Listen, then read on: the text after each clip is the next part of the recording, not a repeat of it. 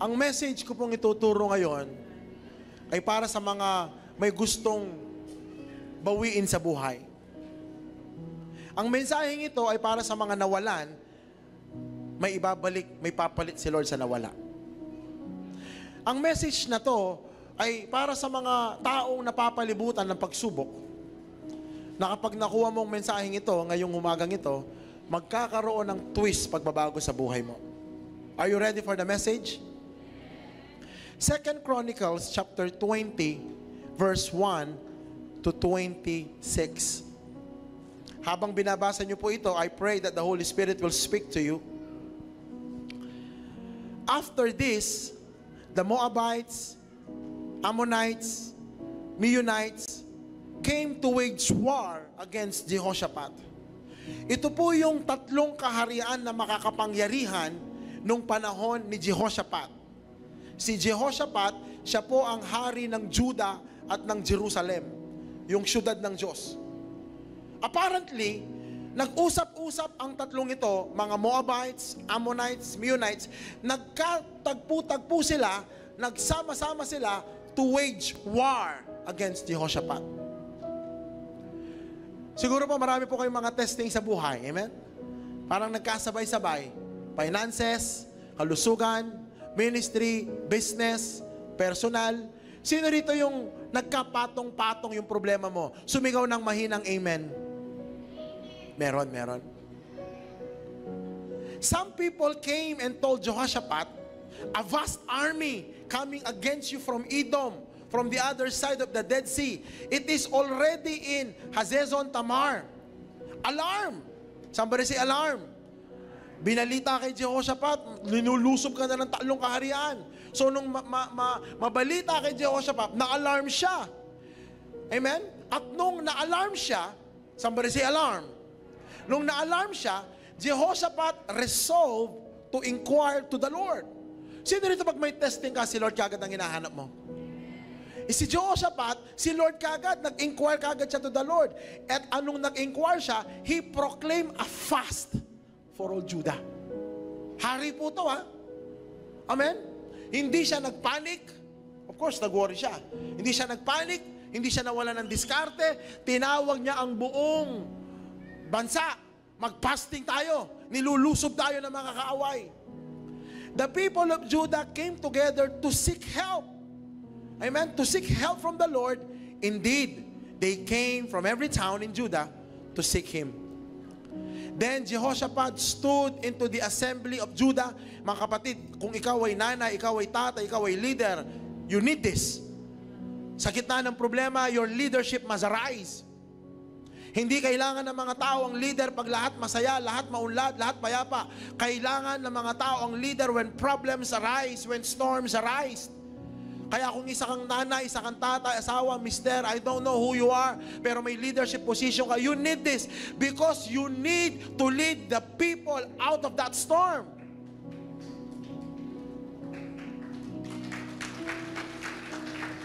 Bilang mga nanay at tatay, tayo ang maglilid sa pamilya natin palabas ng pagsubok. Tayo magpapalakas sa kanila sa gitna ng problema, sa gitna ng storm. That is what leadership is. Amen? Kaya si Jehoshaphat, nalaman niya yung problema. Amen? Anong ginawa niya? Nagpatawag ng fasting. Mag-inquire tayo kay Lord. Tapos sabi niya, rin, Jehoshaphat stood. Tumayo siya in the assembly of Judah and Jerusalem at the temple of the Lord in front of the courtyard and said, Tanyo ah, Lord, dinala niya kay Lord yung problema. Lord, the God of our ancestor, are you not the God who is in heaven? You rule over the kingdom of the nations. Power and might are in your hand, and no one can withstand you. Pinuri niya ang Panginoon. Our God, did you not drive out the inhabitants of this land before your people, Israel, and gave it forever to the descendants of Abraham, your friend? They have lived in it and have built in it a sanctuary for your name, saying, If calamity comes upon us, whether the sword of judgment or plague of famine, we will stand in your presence before this temple that bears your name, and will cry out to you in distress, and you will hear us and save us. Hindi ba't sinabi mo pag may problema kami, Lord, pupunta lang kami sa templo, tatawag lang kami sa iyo. Hindi ba't sinabi mo makikinig ka? Yan ang ginagawa namin ngayon, ang sabi ni Jehoshaphat. But now, ang sabi ni Jehoshaphat, may mga taong lumulusob sa amin, ang mga Amon, ang mga Moab, ang mga Sir. Hindi ba sinabi mo sa amin, noon nilulusob namin ang mga to. Sinabi mo sa amin, wag namin silang gagalawin. Hindi namin sila ginalaw. Pero tignan mo ngayon sila, ang sabi niya. Sinong naniniwala, pwede kang magsumbong sa Panginoon? Amen? Kasi nung una, nilulusob nila yung tatlong bansang ito, ang sabi ni Lord, wag niyo lusubin. Amen? Sabi ni Jehoshaphat, sinabi mo, wag namin lusubin. Ngayon naman kami nilulusob, Lord, sabi niya. Amen? Kaya nasabi niya, show See how they are repaying us by coming to drive us out of possession. You gave us as an inheritance. Verse 12 Our God, will you not judge them? For we have no power to face this vast army that is attacking us. We do not know what to do. But arise are on you. May mga bagay na talagang hindi natin alam paano ayusin. Pero dapat our eyes are on Jesus. Sabihin mo sa katabi mo, nasaan ka nakatingin ngayon? Amen? Kasi there is a tendency na kapag tayo may problema, na focus tayo masyado sa problema.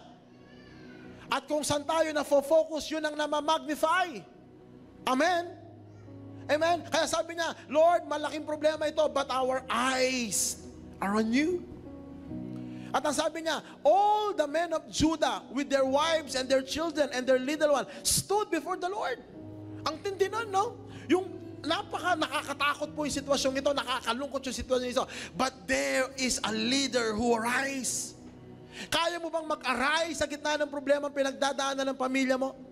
Kaya mo ba mag-arise sa gitna ng problema pinagdadaanan ng iba at aalisin mo yung paningin nila sa problema at dadalin mo ang paningin nila sa ating Panginoong Yesus? Sabihin mo sa atin mo, arise! Sa lahat ng tatay at nanay, ako'y nagpapangumbaba, but you need to arise. You tell your wife, your husband, your children na meron isang Diyos na sa Kanya ay walang imposible. You need to arise. At nung ginawa nila yon, na grabe oh, na-encourage niya yung mga tao. Then the Spirit of the Lord came, bumaba ang Holy Spirit, na-attract nila. The Holy Spirit And then the Spirit of the Lord came on Jehaziel, the son of Zechariah, Benaiah, Jeel, Matane, a Levite, a descendant of Asap. Sabi natin, Asap. One more time. Yung nagsalita ng Asap, may Asap na blessing na darating sa'yo. Shout, Asap. Si Asap po, isa po siya sa author in the book of Psalms. Ang, ang nagsulat ng Psalms, awit, si Moses, si David, and Asap, yung mga anak ni Asap. Amen? As he stood in the assembly, verse 15, he said, Listen, King Jehoshaphat, bumaba Holy Spirit sa propeta at itong sinabi ng propeta, Listen, King Jehoshaphat, and all you, lahat kayong nasa Judah and Jerusalem, this is what the Lord says. Sa gitna ng problema, get a word from the Lord. Amen? Ito ang word, do not be afraid or discouraged. Wow.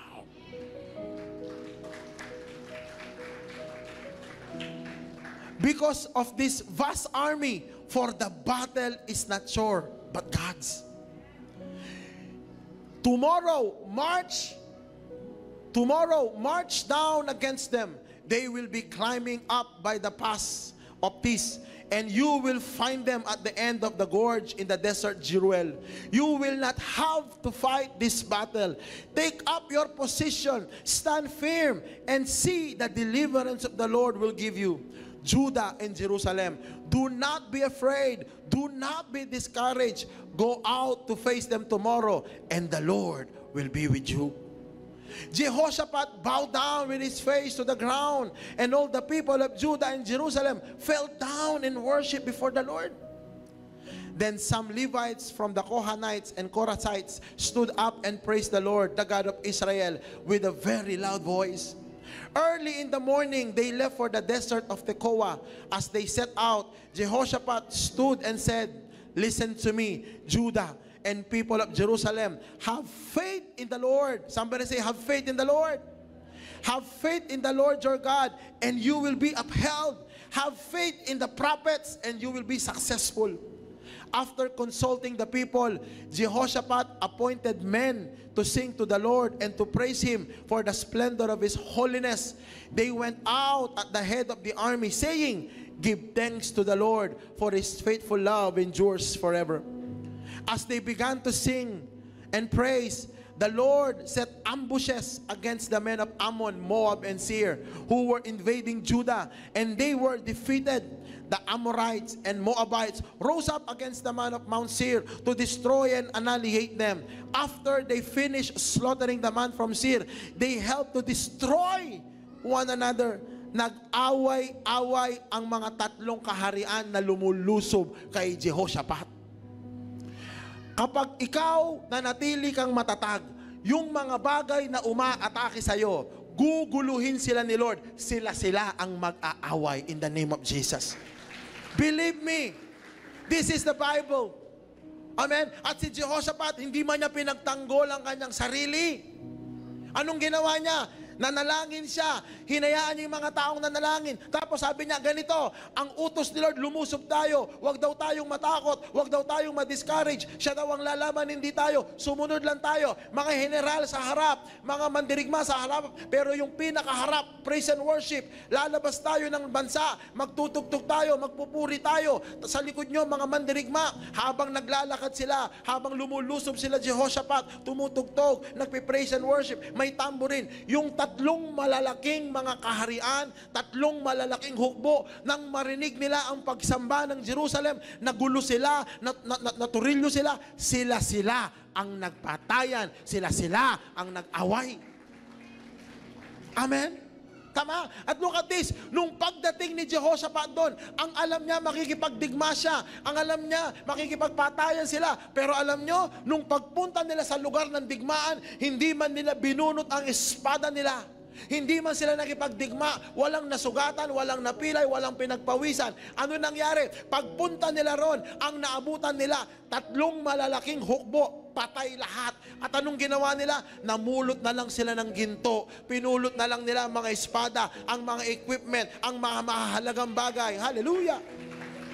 Kaya ang sabi niya po rito, Amen. Ang sabi niya rito na, when the men of Judah came to the place, the place of battle, when they came, amen, to the place that overlooked the desert and looked towards the vast army, they saw only dead bodies lying on the ground. No one had escaped. So Jehoshaphat and his men went to carry off their plunder and the, and they found among them a great amount of equipment and clothing and also articles of value more than that they could take. There was so much plunder that it took them three days to collect. Three days. On the fourth day they assembled at the valley of Beraka and they praise the Lord Imbis na makipagdigmaan sila, imbis na makipagpatayan sila, bumaba ang Diyos, pinagkagulo-gulo niya yung mga gustong pumatay sa kanila. At ano nangyari? Nung pumunta sila doon, wala nang digmaan, namulot na lang sila ng pagpapala. In the name of Jesus Christ, ngayong Oktubre, mamumulot tayo ng pagpapala. Amen? Akala ng kaaway, nagtipon-tipon ng mga kaaway, akala nila mapapabagsak nila tayo, pero alam natin ang sikreto. Bandang dulo, yung kayamanang dala ng tatlong kaharian na yon, napunta na transfer lamang. Paano nagtagumpay si Jehoshaphat? Jehoshaphat created an atmosphere. Somebody say atmosphere. Gumawa ng atmosphere si Jehoshaphat, kaya bumaba ang presensya ng Diyos. Gumawa ng atmosphere si Jehoshaphat, kaya bumaba ang anghel ng Diyos, pinagtanggol sila. To attract favor in your life, you need to create an atmosphere. Somebody say atmosphere. One more time. We must create an atmosphere that will attract favor or what I call divine help. Bro, pakita natin. Amen? Ang tanong, kaya mo bang mag-attract ng favor? Kaya mo bang i-attract ang tulong ng Diyos sa buhay mo? Taas ang kamay. Hagurin ng katabi, what do you attract in your life? Why? Because you attract who you are. Paniwalaan niyo po ako. Ang mayaman, i-attract niya mayaman. Tama? Ang lasenggo, i-attract niya lasenggo. Tama? Ang mobile lenger, mobile legender na kabataan, i-attract niya yan. Ang mga mahilig sa Samji, mag-a-attract yan. Ang mga mahilig sa kape, mag-a-attract. What do I mean? You attract who you are. Kaya huwag kang magagalit sa katabi mo, huwag kang magrereklamo sa kanya, huwag kang mainis sa kanya. Why? Because you attract who you are. Ay, hindi nyo po pwedeng ano yun yan. Amen? Kaya ano yung atmosphere na na-create mo? Because the atmosphere you create will be the one you will attract. Tama? Kaya pag nag-create ka ng maling sistema sa katawan mo, puro, puro crispy pata, puro samji, puro matatamis, ano mangyayari sa'yo? Alta pressure at diabetic. Why? You attract that. At ano nangyari dahil ganyan ka? Siyempre, ganyan ang paborito mo bilang nanay at tatay. Yan ang iluluto mo sa bahay. Tama? At pag niluto mo sa bahay yan, kakainin ni Garrett yan. Tama? Why? Because you created that atmosphere. Amen? Kaya sa isang lugar, may tinatawag na teritorial. Ibig sabihin, yung lugar na kapag, kunwari, yung bahay nyo, sugalan yan, tongkingan yan, amen, lucky nine yan, o kaya, kwaho, kaya, swimming pool. Ano swimming pool? Yung mga madyo, mga madyong, mga swimming yan eh. O anong ina-attract mo sa ganyan? O inuman yan, ano ina-attract mo dyan? Tama? Nanonood ka ng mga pinikulang mo, puro horror. O ano, what are you attracting? Because you create an atmosphere. Amen? Somebody say amen. Kaya tanungin mo yung katabi mo, what atmosphere are you creating in your home? Are you inviting the blessing of God? The favor of God? Puno ba ng sigawan sa bahay na yan? Puno ba ng murahan sa bahay na yan? Puno ba ng sumbatan dyan? Sa trabaho mo, what are you attracting? Di ba, pag dumating na yung mga opisina mo, oh, kumusta? Tasipin mimbale, balo eh, makanya niya talaga tasipin mimbale. Biro mo, hindi mo pa nakita yung kapitbahay niya, pero kilalang kilala mo na yung kapitbahay niya. Every person, they have created an atmosphere in their life. Kaya ang sabi ng Bible, wherever you go, you will be blessed pag tama atmosphere mo. Pero pag mali atmosphere mo, wherever you go, ang pangit. Kaya dapat you should create an atmosphere. Si Jehoshaphat bilang isang leader, he created the right atmosphere. We should create an atmosphere where revelation will come. Kahit magbasa ka ng Bible, kahit magbasa ka ng libro, without the right atmosphere, the Spirit of God will not come. Si Jehoshaphat, isa lang to. One time, si Jehoshaphat at saka yung hari ng Israel makikipagdigma. Eh papunta sila sa digmaan, dumaan sila ng disyerto, walang tubig, mamamatay sila hindi sa espada kundi sa kundi sa uhaw. Ang sabi ni Jehoshaphat, wala bang lingkod ng Diyos dito? Meron si Elisha. Tawagin nyo. Pinuntahan nila si Elisha. Elisha, nasa disyerto kami. Ano gagawin namin? Tulungan mo kami. Ang sabi ni Elisha, bago siya magsalita, kumuha ka muna ng gitara, tumugtog ka muna ng gitara. Why? He was setting the atmosphere. Nung tumugtog sila, bumaba presence ni Lord. Ito ang pinapasabi ni Lord, maghukay kayo dyan. Wala kang makikitang ulan, wala kang makikitang tubig, pero maghukay kayo, may lalabas na tubig. Si Jesus in the, in the book of Mark, Mark chapter 5, Amen? Tinawag siya, sabi ni Jairus, Jesus, puntahan mo yung anak ko, may sakit. Eh, pumunta si Jesus, medyo na late. Yung bata, hindi, nung bata, namatay. Pagdating ni Jesus sa kwarto, umiiyak ang mga tao. Ang sabi nila, Jesus, patay na po yung bata. Ang sabi ni Jesus, amen, hindi siya patay, natutulog lang. Jesus begin to change the atmosphere by His words. One word, one praise can change everything. Kaya pag sinabi ni Jesus, do not be afraid, do not be discouraged. One word. Amen? Hindi nyo ba alam, the heavens and the earth was created by word? Amen? Kaya sabi ni Jesus, hindi patay ang bata, natutulog lang. Ano sabi ng mga tao? Nagtawanan sila. Tumawa yung... Ang weird eh. Umiiyak sila. Tapos nung sinabi ni Jesus, buhay ang bata, nagtawanan. Parang buang. One time, umiiyak. Minsan tatawa naman. Tinawanan si Jesus. Ano sabi ni Jesus? Oh, lahat ng hindi naniniwala, lumabas. Ang mananatili lang yung tatay, Jairus ikaw lang, saka nanay, Peter, James, andyan kayo lang. Sabi niya, lahat ng hindi naniniwala, labas. Pinalabas ni Jesus yung mga hindi naniniwala. Why? Because they carry an atmosphere. Amen? Nung pag-alis nila, sarado pinto. Sabi niya, Peter, James, and John, Jairus, ganito ang milagro ha. Sabi niya sa bata, little girl, talita kuhum. Ibig sabihin nun, rise up. Yung patay na bata, nabuhay muli. Because there is an atmosphere of life. What atmosphere do you create? Mayroong problema. Limang libong tao walang pagkain. Limang libong lalaki yun ha. Eh may asawa pa. O sabihin na natin, tig isang asawa. Eh kasi sa kultura nila, pwedeng marami. O tig isang asawa, 10,000. Sabihin natin, tig dalawang anak, 20,000. Paano mo pakakainin yung 20,000? Ano sabi ni Jesus? Anong meron? Dalawang isda, limang tinapay. Sige, tawagin ang mga 12. O, paupin niyo yung mga tao. I-order niyo sila. Ang sabi ng Bible, pa- paupuin sila by 100, by 10, by 50. Paupuin.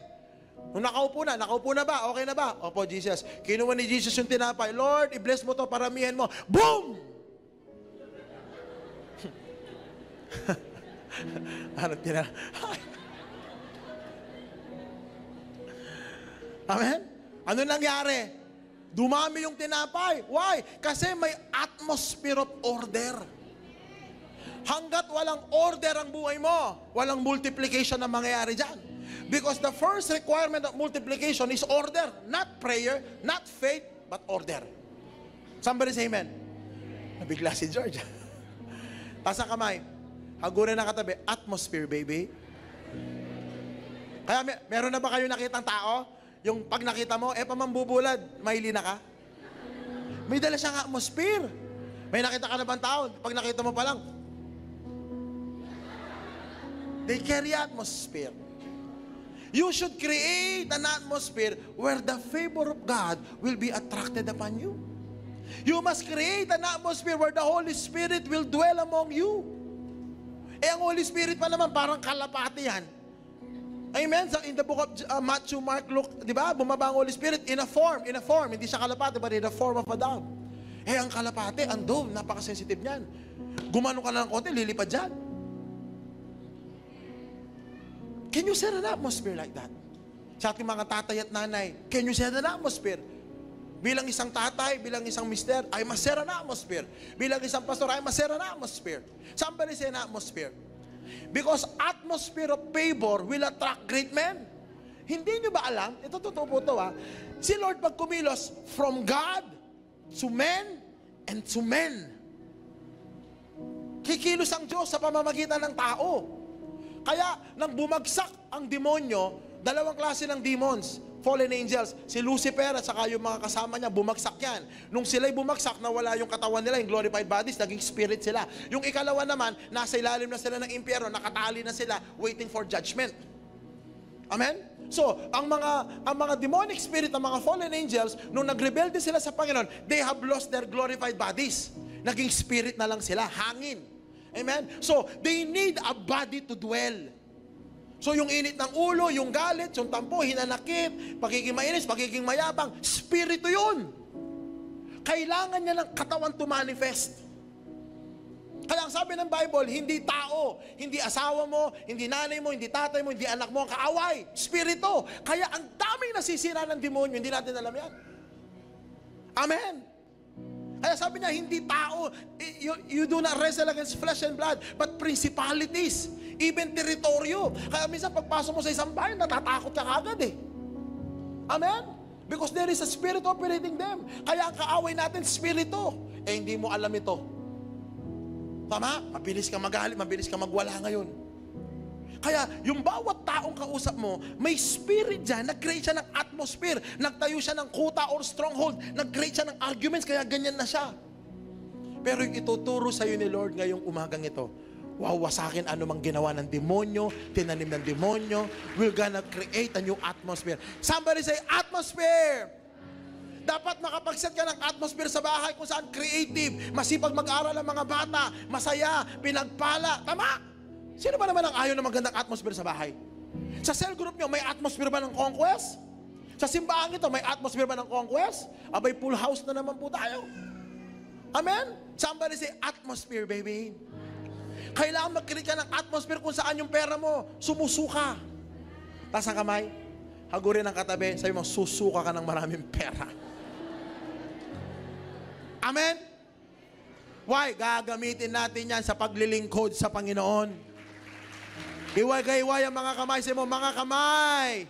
In the name of Jesus, hahawak ka ng maraming pagpapala. Mon? How do we create an atmosphere? Number one, number one, please listen carefully, amen? Listen carefully. 11, 11 na po, 11.30, alis na po ako. Amen? Set an atmosphere on right belief and positivity. Ang mensaheng ito ay para sa ating lahat. Amen? Pang-opisina, pang-kumpanya, pang-simbahan, pang-pamilya, pang-personal. Why? You cannot set an atmosphere outside unless you set an atmosphere from the inside.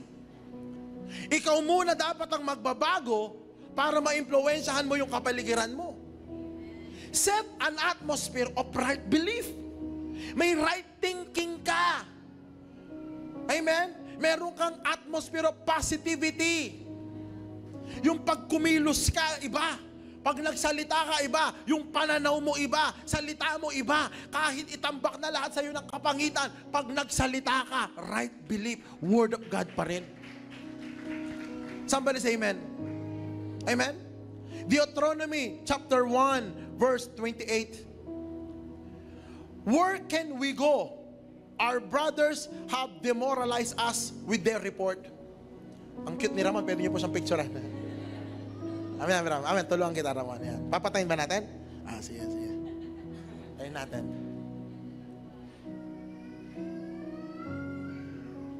Okay, yan. Ramon, ah, alam mo, may tatlong babaeng nagkakagulo dahil sa'yo, ha? Gusto mong banggitin ko yung mga pangalan nila para mag-backslide.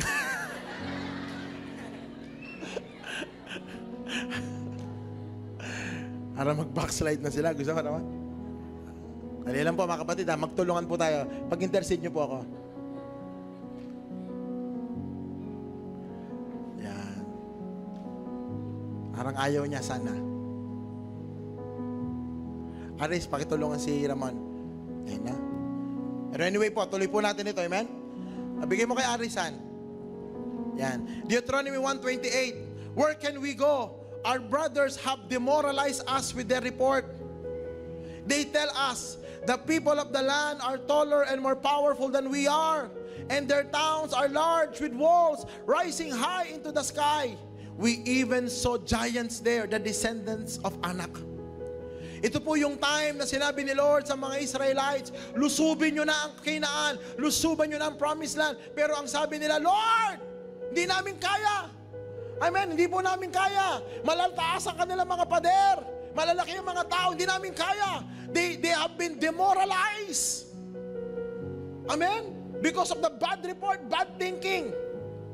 Ang sabi ni Lord in verse 34 and 35, when the Lord heard your complaining, taas ang kamay, hagurin ang katabi.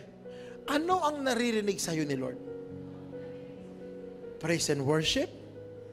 Declaration? Or complaining? Amen? Why? Paniwalaan niyo po ako. Amen? Walang blessing ang reklamador. Hallelujah. Amen? Amen? Sabi niya, when the Lord heard, naririnig pala ni Lord yan. When the Lord heard your complaining, He became very angry. Is that on your Bible? Is that on your Bible? Amen? He solemnly swear. Sabi niya, not one, na, parang nakikita ko si Lord, nagigigil. Not one of you, sabi niya. Bihira kayo. Nakita nyo naman sa Egypt, ang sabi niya, nagpadala ako ng plague. Nakita nyo naman, 40 years, hindi na putpud sapatos nyo. Yung damit nyo, hindi na kumupas. Hindi walang nagkasakit sa inyo. Pinakain kayo araw-araw. Tama, parang nanggigigil siya. Eh, sabi niya, ayokong makontaminate yung, yung promised land sa inyo. Not one of you from this wicked generation will see the good land I swore to their ancestors. Amen? God loves you so much, but He will not allow His plan to be contaminated. Believe me. Somebody say amen. Kaya alam nyo, pag nag-pray kayo, dapat talagang, when you pray, you don't pray religiously, but truthfully, passionately. Lord, bago pa ako magsalita, alam mo na, alam mo motibo ko, desire ko, intention ko, alam mo na lahat, Lord. Make me right with you. Mga ganun panalangin. Amen? Kung may nakikita kang ikakabagsak ko, ikakabagsak ng iba, ngayon pa lang bigyan mo na ako ng safe exit. Ganun po yung pananalangin. Amen? Kaya dito sabi ni Lord, wala pa mga reklamador kaya. Kaya nung si Joshua, sabi ni Joshua, lulusubin natin ang Jericho. Anong ginawa ni Joshua? Umikot po sila. Umikot sila ng seven times. Umikot po sila sa walls of Jericho. Ang sabi ni Joshua, walang magsasalita. Why? Kasi habang umiikot sila, habang umiikot sila, nakikita nila yung pader ang taas. Sabi nung isa, habang umiikot, ang taas naman ng pader. Shh! Kung magsasalita. Eh, ang taas sinasabi, Shh! Bakit palagay mo, di ba namin nakikita? Nakikita rin namin yan. Why are you stating the obvious?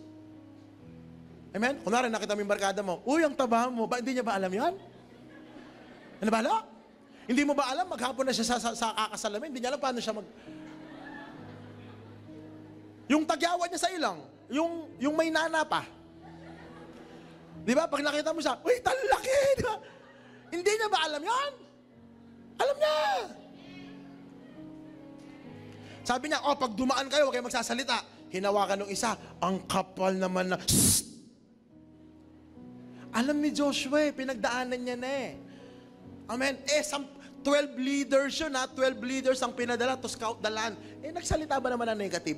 Dinemoralize yung mga tao. Ano nangyari? Wala nakapasok. Ang nakapasok lang sa promised land, out of 500,000 men, men, di pa kasama yung babae, amen? Out of 500,000 men, dalawa lang ang nakapasok, si Joshua at si Caleb. At alam nyo, napakahirap kay Joshua nun.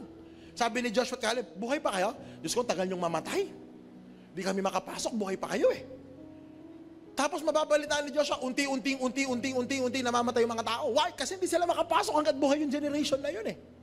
Those are the generation who complain against God. Atmosphere. Kasi nakita ni Lord, you're not ready. You're gonna contaminate the land. Amen? We must set an atmosphere. Kung ano yung atmosphere, kaya pansinin nyo, kung ano yung atmosphere sa church, yan dapat ang dalhin nyo sa bahay. Kasi kung ano yung atmosphere nyo sa bahay, yan ang dadalhin ng mga anak nyo paglabas nila sa bahay.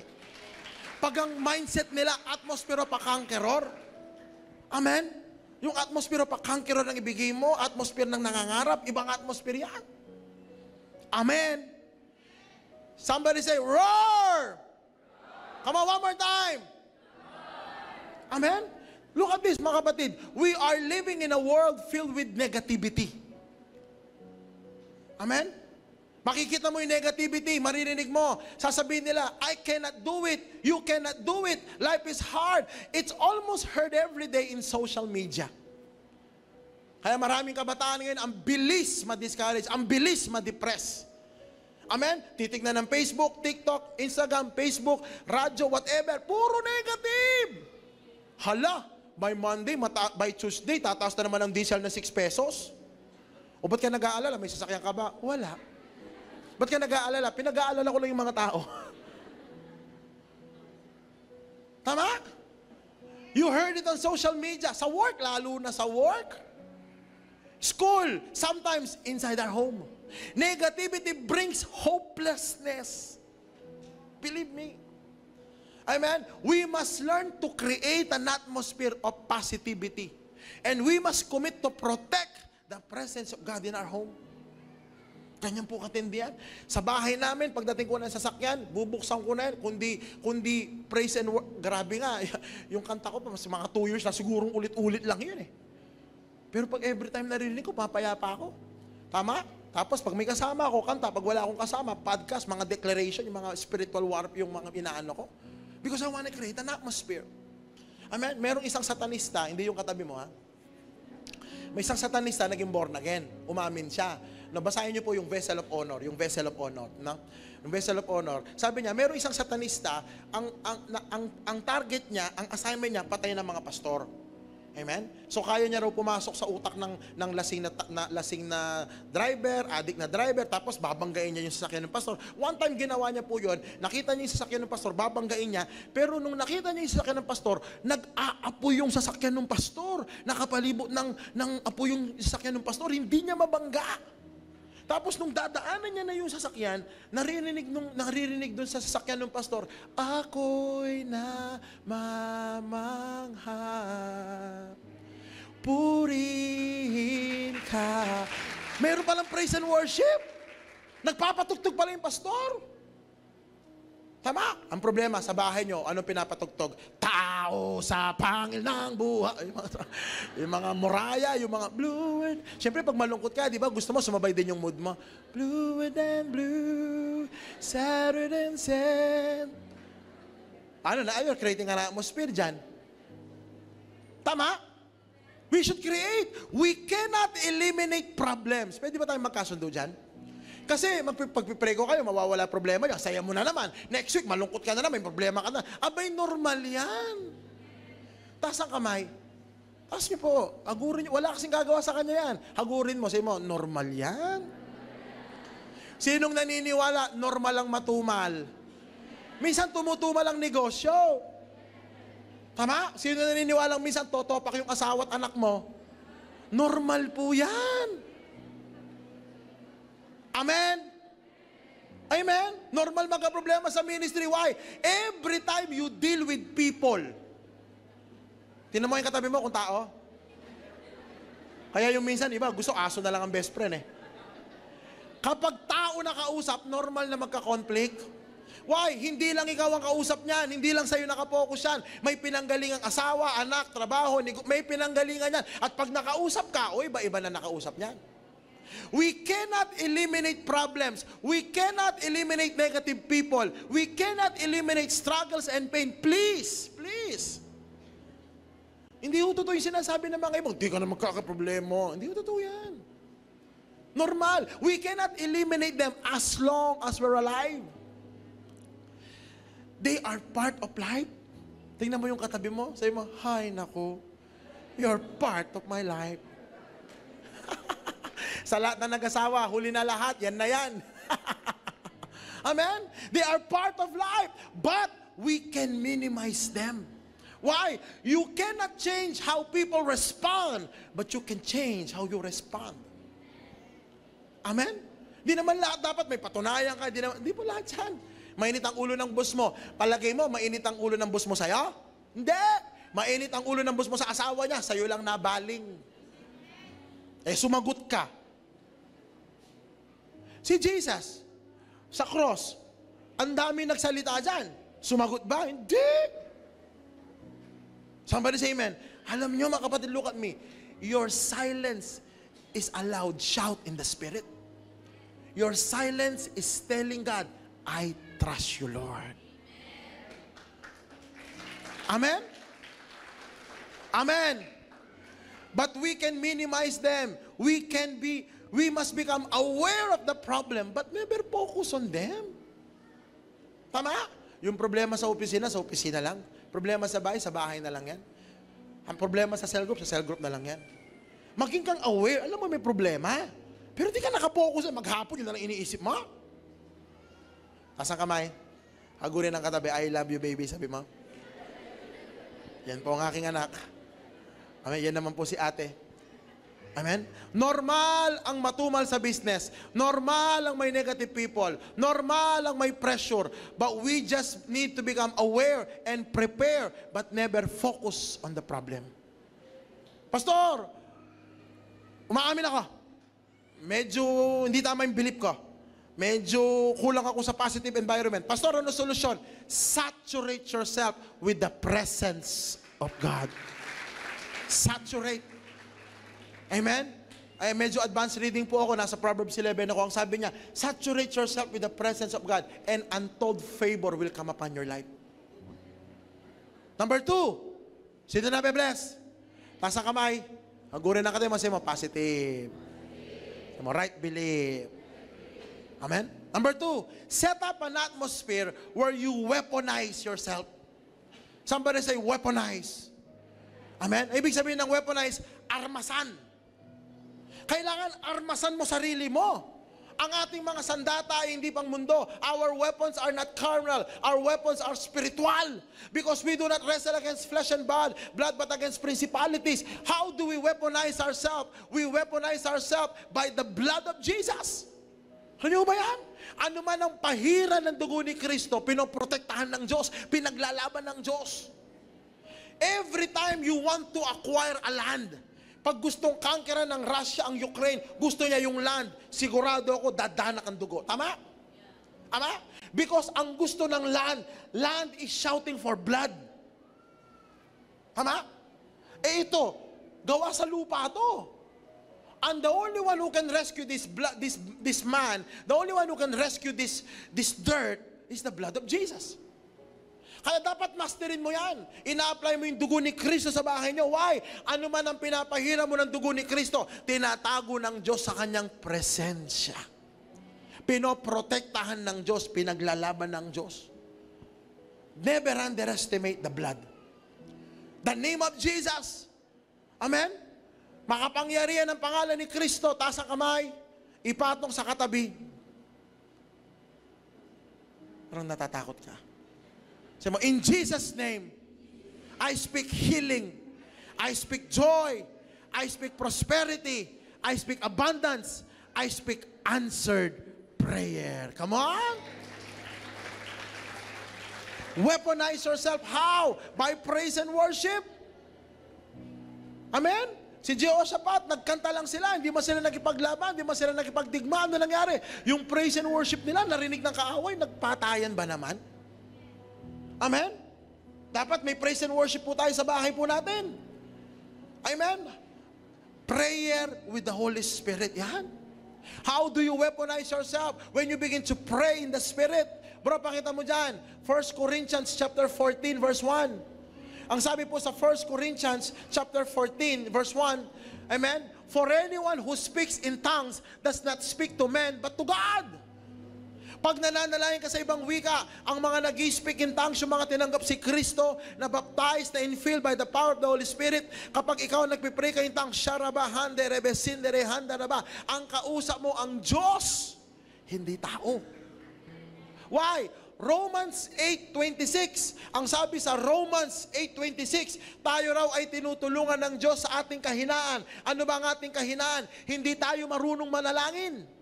Ang sabi niya, no? And the Holy Spirit helps us in our weaknesses. For example, we don't know what God wants us to pray, but the Holy Spirit prays for us with groanings that cannot be expressed in words. So pag nananalangin ka raw in tongues, Diyos ang kausap mo, hindi tao. Pag nananalangin ka sa in tongues, minsan hindi mo alam ang pagpipray mo, minsan hindi mo alam nararamdaman mo, hindi mo alam malungkot ka, hindi mo alam nadi-discourage ka, eh mubalo ng pangadi mo. But when you begin to pray in tongues, the Holy Spirit helps you to pray. At ang sabi niya in verse 4, 1 Corinthians 14, verse 4, ang sabi niya, a person who speaks in tongues strengthened personally. Kita niyo ba yan? Kaya pag marunong ka mag-pray in tongues, medyo lamang ka. Why? Nai-strengthen mo yung sarili mo. Para kang cellphone, para kang laptop, para kang iPad na nalubat. Pag sinaksak ka, boom! Lalakas ka na naman. Sabi ng yun, Diyos ko po. pag naririnig niyo yung boom, yung puso niyo umaayos in Jesus' name. Amen. Come on, clap your hands for Jesus. Amen. How do you weaponize yourself? By having fellowship with great men of God. Amen?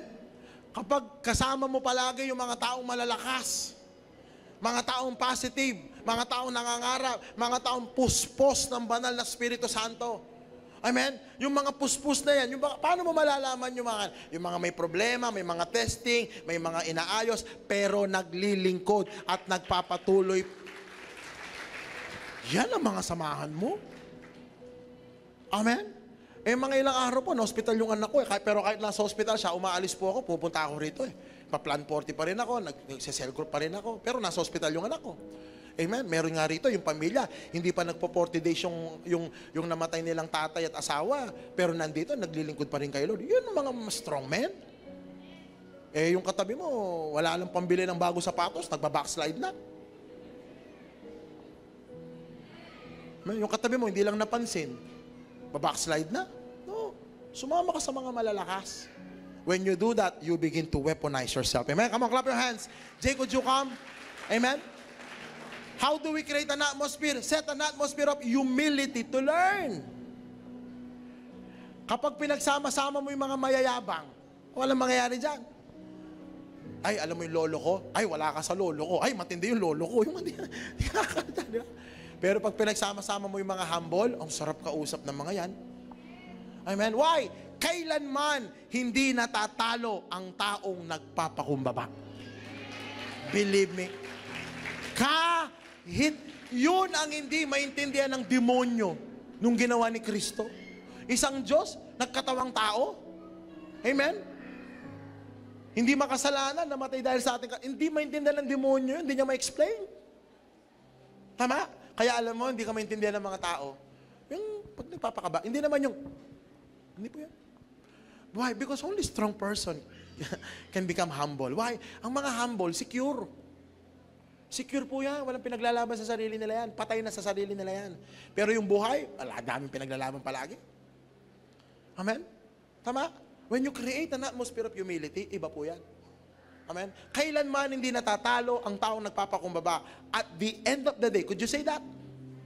At the end of the day, the one who humbles always have peace. Amen? Yung marunong magpakumbaba, yan yung palaging may kapayapaan. Tama? When there is humility, kapag may humility, there is teachability. Marami ka matututunan. Amen? Without humility, the wisdom you have will stagnate and decrease. Ano man yung alam mo, it will begin to decrease, it will begin to stagnate. But when you have humility, the wisdom will always be available. Somebody say amen. Alam niyo po, araw-araw may bago. Sa trabaho, sa ministry, sa pag-aaral, sa negosyo, sa business, araw-araw may bago. Yung information mo ngayon, tomorrow obsolete na yan. The solution, the strategies you have right now cannot solve tomorrow's problem. Kaya pag wala kang humility, ala ho. Somebody say amen. Tama? Kailangan may humility ka. Don't carry the spirit of pride. It takes humility to learn. Amen? God is doing a new thing. Amen? Bakit pinaglalaban mo pa yung nakaraan? Taas ang kamay. Hagurin mo sa'yo mo, let go. Sa'yo mo, wag mo na siyang ipaglaban. sa'yo mo, pinagpalit ka niya sa mas maganda.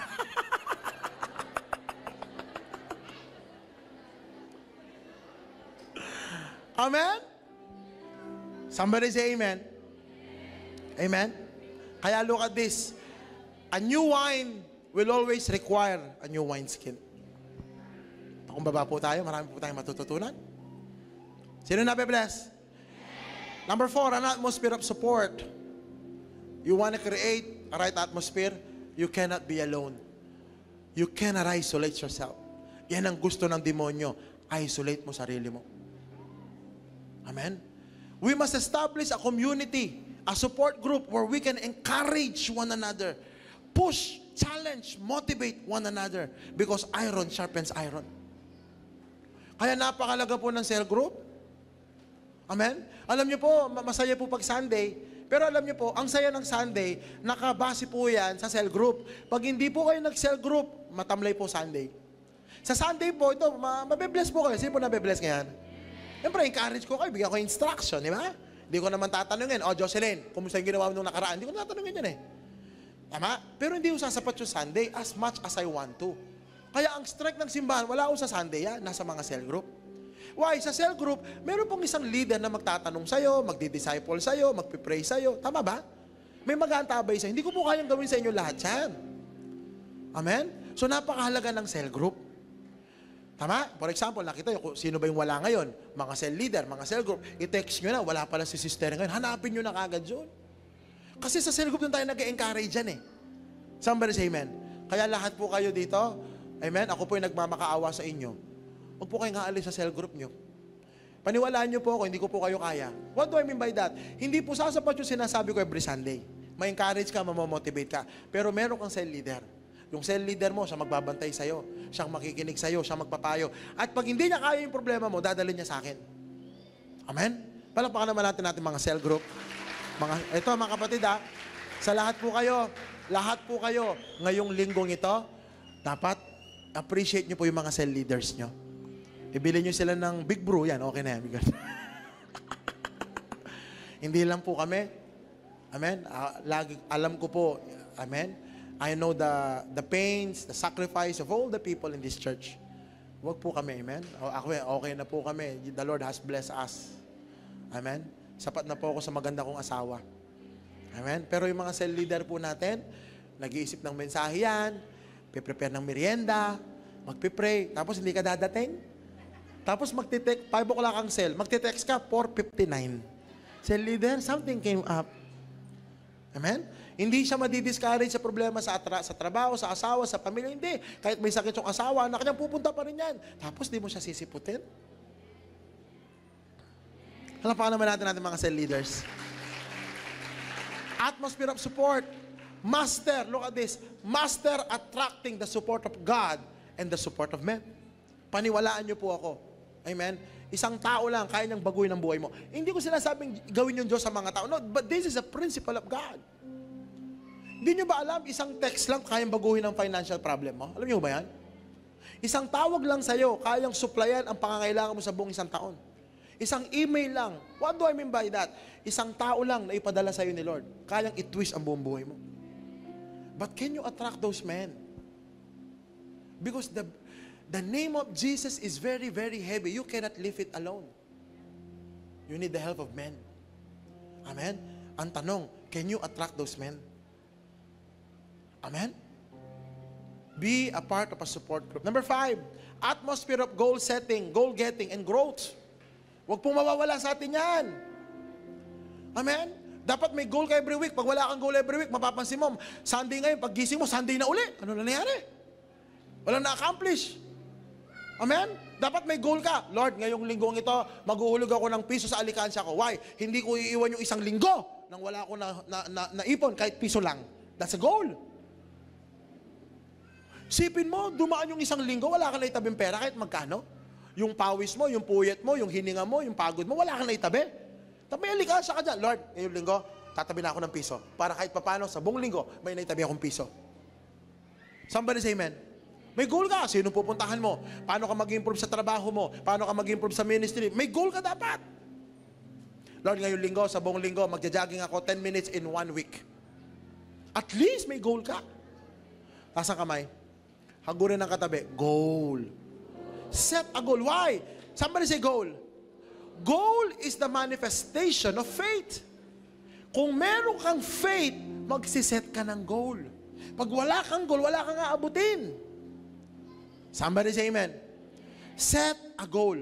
A person who has a goal has a future. Show me your goal. Amen? And I can predict your future. And lastly, sino na bless? The best clap offering for Jesus? How do we set an atmosphere where the favor of God, divine help will come, the Holy Spirit will come, revelation will come? Set an atmosphere of self-leadership. Set an atmosphere of self-leadership. Amen? Ang mga magagaling na leader, hindi po matatalino ang mga yan. No? Hindi nga graduate minsan ng mga ano yan eh, ng mga masteral, ng mga doctoral, even college level, hindi. What, what have I learned about them? Great leaders are not intelligent. They are not smart, they are not brilliant, but they can control themselves. Kaya niyang kontrolin yung bibig niya. Kaya niyang kontrolin yung sarili niya. Kaya ang sabi, ang, mata, ang, ang, taong, ang taong mangmang, sumasabog, sinasabi lahat ng alam. Pero ang taong matalino, nananahimik. Even ang mangmang na pagkakamalang matalino, pagtahimik, they control themselves. Pag dumaan sa SM yan, nakasale, they control themselves. Pag nakikita ng pogi yan, nanginginig na sa loob, pero nakokontrol pa rin niya. Amen? Kaya sabi ng Bible, ang taong walang self-control ay parang syudad na walang pader, kahit sino pwede siyang lusubin. Great leaders control themselves. They discipline themselves. They lead themselves. And they are very, very great at building relationship. Pag leader ka, don't get me wrong. Dapat gugustuhin ka ng mga tao, ng mga empleyado mo. Amen? Naiyak ako nung na, na, nag-preach po ako sa isang simbahan. Couples po nila, nag-preach ako. Nag-testify po yung isang couples. Sabi niya, alam niyo po, sabi niya, ay, gusto ko pong kunin yung pagkakataon to thank this company, to thank this family. Noong nagkaroon po ng pandemic, tapo, uh, nagkaroon po ng pandemic, shutdown po lahat. Ang sabi po ni President Duterte sa mga kumpanyang may kaya, pwede ba magbigay uli ng 13 month? Hindi po nag-atubili ang kumpanyang ito, binigyan kami ng 13 month. Tapos sa kalagitnaan ng pandemic, shutdown po ang hotel, shutdown ng negosyo, shutdown ng mga kumpanya. Sabi, ang sabi po ng, ng presidente, kung sa mga kumpanyang may natat, natitira pang pera, bigyan nyo naman ng yung mga member, ang inyong mga empleyado. Binigyan na naman daw sila. Tapos sa, sa dulo, two years yung pandemic, sa nakaisang taon na pandemic, tumawag daw yung manager. Sabi ng manager, uh, bro, uh, the company will be closing. Magsha-shutdown ng kumpanya, isang taon nang walang ano eh, walang operation. Pero huwag kayong mag-alala, sabi niya. Pag kumain ng pamilya ko, kakain ng pamilya mo. Sabi ganon. And it struck my heart. Wow, sabi ko, that's leadership. Amen? Tama? Kaya ngayon yung mga yung mga ano niya, mga trabahador niya, handang makipagpatayan. Great leaders are very great in building relationship. Amen? They put the interest of others before them. Master to lead yourself, lead mo sarili mo. Amen? May mga araw ayaw mo bumangon, ayaw mo lumabas, ayaw mo magtrabaho, ayaw mo magpray, ayaw mo ma- You don't want to show up. You need to lead yourself. Leaders, they arise in problems. Leaders, they arise in storm. Kailangan ka ng mga tao. Amen? Master, encouraging yourself. Minsan wala mag-encourage sa'yo. Amen?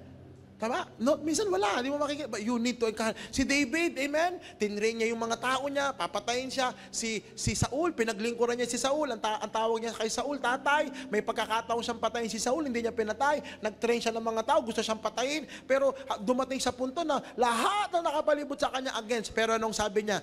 David found strength in the Lord. You need to learn. You need to master that. Amen? You need to master encouraging yourself. I can do it. Greater is He that is in me. Alam mo nangyayari. I'm in your hands. Kaya ko to. Kasama kita.